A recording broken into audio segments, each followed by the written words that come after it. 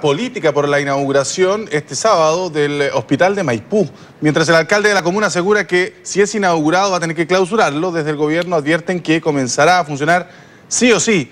En el lugar de la polémica está el periodista Juan Miranda y nos informa. Adelante Juan. ¿Qué tal? ¿Cómo están ustedes? Eh, muy buenas tardes. Les vamos a mostrar el Hospital El Carmen. Tú ya lo decías, el centro de la polémica. Estamos en las afueras eh, de este hospital. Los vamos, vamos a ingresar porque efectivamente el próximo sábado se asegura, este sábado se asegura que va a ser la inauguración del hospital, pero este hospital ya está funcionando desde ayer. Durante esta jornada incluso se atendieron más de 30 personas en este hospital que fueron derivados de los distintos centros, de los distintos consultorios de la comuna de Maipú y también de Cerrillos. Es un hospital que aseguran desde el Ministerio de Salud va a descongestionar hasta en un 30% la posta central y comenzó la marcha blanca, le decíamos, desde la jornada de ayer. Es un hospital que tiene siete pisos, es el único en Chile que tiene, acá en este costado podemos ver escaleras mecánicas, es el único que tiene este sistema y además junto con el Hospital de la Florida y este hospital son los únicos en Latinoamérica que tienen eh, sistemas eh, mecánicos de atenciones en algunas especialidades. Es bastante moderno y durante la jornada de ayer y hoy entonces eh, ya los algunos vecinos de Maipú y de Cerrillo comenzaron a ser atendidos por los especialistas que en este hospital. Conversamos con ellos y estas fueron sus declaraciones. ¿Qué le pareció el hospital? Muy bien, pues. La enfermera muy simpática, todo. El doctor también. Guapo el doctor, ¿no? Sí. Bueno, el hospital, lindo, grande. Ojalá que que yo hace dos años que estoy esperando una operación acá en el Paula. Que no tenía idea que existía esto yo. Bueno, averigüé y resultaba que Llegué acá, pues, súper bien, pero una atención maravillosa. es una larga lista eh, de lo que tiene de lo que tiene este hospital. Son 375 camas, mientras nosotros mostramos, yo les voy contando. 375 camas de hospitalización, tiene 11 pabellones, eh, tiene 41 box de consulta.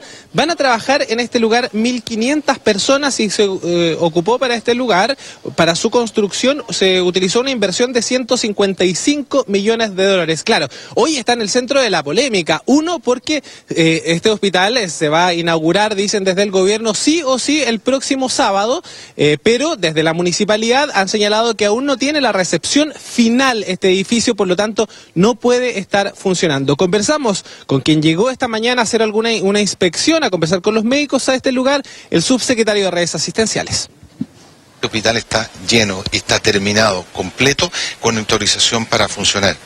De, las rejas hacia afuera, hay observaciones que la concesionaria está resolviendo rápidamente eh, en las próximas 24 horas, pero que hay un tema de disposición, de disposición a arreglar aquellas observaciones que ellos mismos han levantado, de disposición a recoger y reconocer la actividad y la necesidad de las personas sería inédito, a mi juicio, eh, fiscalizar y pasar una multa a un hospital. Creo que sería la primera vez en la historia del país que llega a suceder una cosa de este tipo. Lo ha dicho el subsecretario de Salud entonces desde la reja, lo que ustedes están viendo que es la parte exterior del hospital El Carmen, hacia el interior no existe ningún problema, incluso todas las autorizaciones sanitarias estarían ya eh, dispuestas eh, para que el hospital esté funcionando y por eso han, señalado que se ha realizado la marcha blanca desde la jornada de ayer y se va a realizar sí o sí la inauguración el próximo sábado. ¿Cuál es el problema?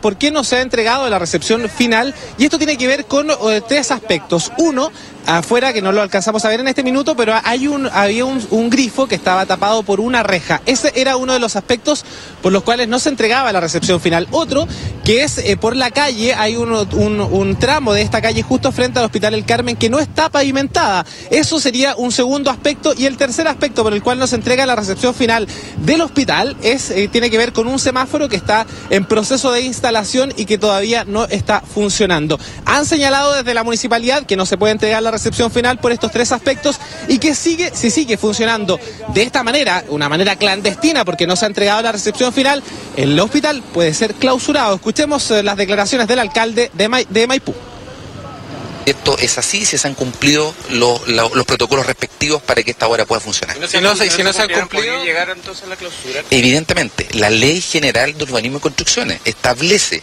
que si una obra no tiene recepción parcial o total, puede ser inhabilitada, puede ser desocupada. Eso es lo que establece la ley. ¿La podría clausurar usted Evidentemente, lo que se puede hacer a través de la dirección de obra, una vez que se hagan los protocolos correspondientes, se puede desalojar la obra porque no pueden haber personas allí hasta contar con los permisos de recepción final. Bueno, aprovechemos que estamos en el exterior del hospital El Carmen y esto es justamente lo que yo les estaba mencionando, el aspecto que ha sido considerado dentro de la dirección de obras de la municipalidad eh, para no entregar la recepción final del hospital El Carmen. Tiene que ver con este tramo de la calle eh, de, de Camino Rinconada que no ha sido pavimentado, están los postes todavía eh, al medio de lo que va a ser la calzada vehicular y eso entonces es una, ha sido la objeción por parte de la dirección de obras para no entregar. Lo ha señalado el subsecretario, por lo menos de la reja hacia adentro y así lo ha confirmado también desde la municipalidad. No hay ninguna objeción. El hospital podría estar funcionando, pero mientras no se solucionen los aspectos de acá afuera, no puede estar funcionando y ya lo ha dicho desde la municipalidad, podría ser clausurado.